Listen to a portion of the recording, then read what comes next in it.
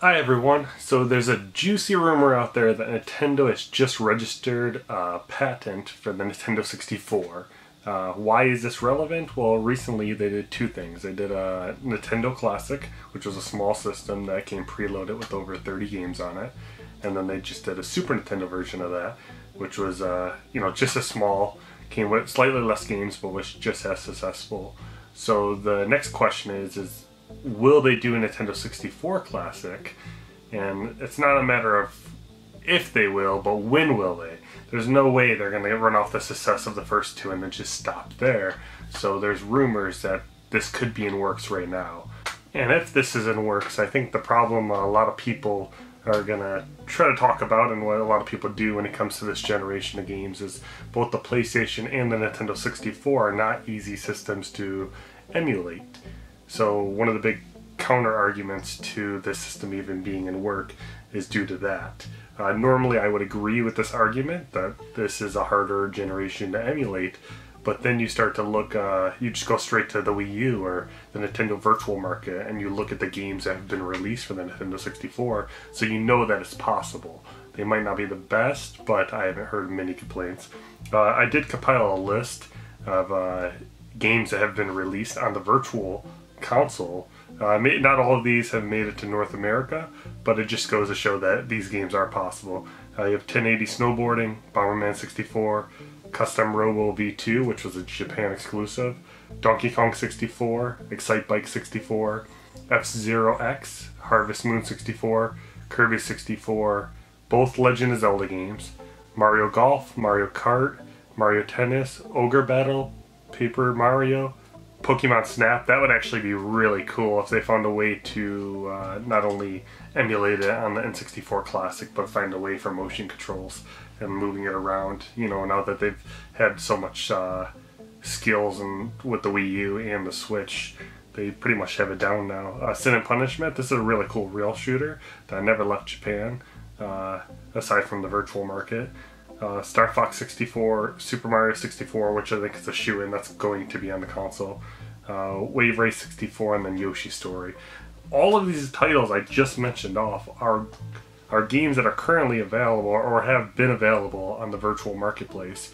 So for the, a lot of these titles to not make it to the classic, I think would be surprising. I think this is actually a good uh, place to start off with to go look if you're if you're trying to compile a list of games you think might be on the system. Uh, Nintendo in general is going to be the primary uh, amount of games on the system. I think we're probably going to see around 10 to 15 games on this console. I don't think we're going to see more than that. It'd be really great if we did.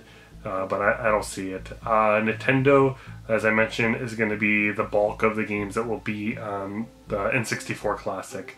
Uh, with the exception of uh, Rare, the only two titles that even made the top 20 grossing games in the N64 library are Star Wars uh, Episode 1 Racer and then Star Wars Shadow of the Empire, I believe was the name of it. I'm drawing a blank right now. Uh, I think what we're going to have an issue with, or we're going to see an issue with, are rare titles. There are some titles like Donkey Kong 64, obviously Rare made that or worked on that, but uh, I don't think we'll have a trouble licensing that because it's a Nintendo property. But games like Banjo Kazooie, Diddy Kong Racing, Perfect Dark, I think those are where we're going to jump through some hoops.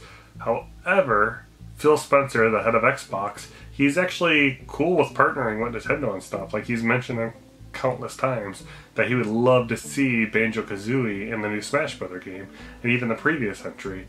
So with that being said, like maybe he'd be willing to work with Nintendo on uh, uh, N64 Classic. This is part of the history of that system, and that would be really cool. We've seen some partnerships there.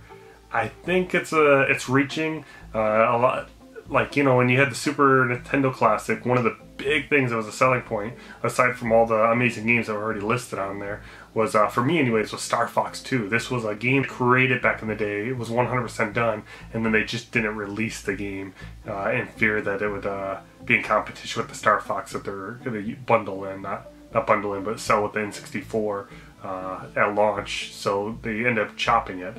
Later, many years later, they threw it on here. So what will be the big game to sell the N64? I mean, obviously you have all your big titles, but I think one game that could help help it out a lot would be GoldenEye, and uh, you don't see this. You there's a there's a problem. Like Rare made this, so you'd have to get Rare on board to agree to it, and then also you have to license out the Gold, GoldenEye. Like it's a 007 franchise, and that's why I don't think you've seen GoldenEye in like the virtual marketplace or anything else. Uh, the, the closest thing you'll get normally is Perfect Dark, and that's if Microsoft will you know let that let that go. Um, so I think we're gonna have a fun system here. I really hope this comes true. Uh, there's a lot of great titles. Uh, you know, obviously I mentioned, uh, you know, your Star Wars, your Nintendo, and your Rare in your top 20 selling games for the 64. But there's countless games that are amazing on the system. You have Army Men, you have uh, the Cruis'n series, California Speed, you have Gauntlet Legends, uh, Blitz 2000, uh, uh, just so many games. Oh, Turok. Uh, but unfortunately, like a lot of these titles I just mentioned are from defunct companies. They've went under since the you know since the era of the N64. So now you have to find out where who owns these properties now. Does anyone own these properties? And is Nintendo going to go through the work to try to talk to these people to try to process this? And that that's a that's a big question. And I think uh, I think we could just look forward to this. Uh, it would be really cool. I don't know if it's too soon, but E3 is just a month away. We have June rolling right around, so how cool would that be if, uh, you know, the N64 Classic was announced uh, during E3 and with the lineup and everything. Just, just something to go right into this holiday season. And that's really how I hope this drops. I hope this isn't something that we're all speculating now and just never happens. Uh, I I do strongly believe that this is going to happen. Uh, so hopefully it does. Uh, but what, what are some of the games you would love to see on this? Uh, there, like I mentioned, there's countless games that are going to be re- that are out there for the N64. I think most of it's, the majority of it's going to be Nintendo properties on the thing. But if you could get some of your favorite third-party companies on there, what games would you want and why? Uh, let me know. Anyways, until next time, see you guys.